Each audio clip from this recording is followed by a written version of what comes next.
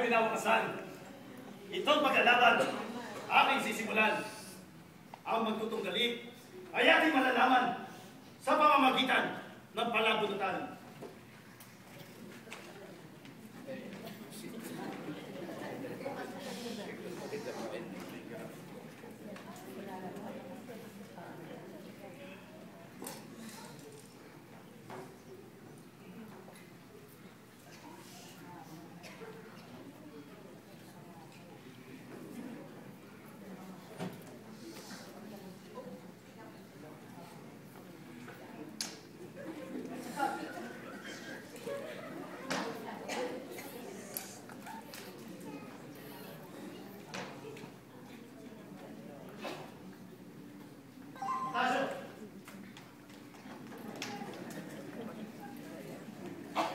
زينو من عبودك نقول لك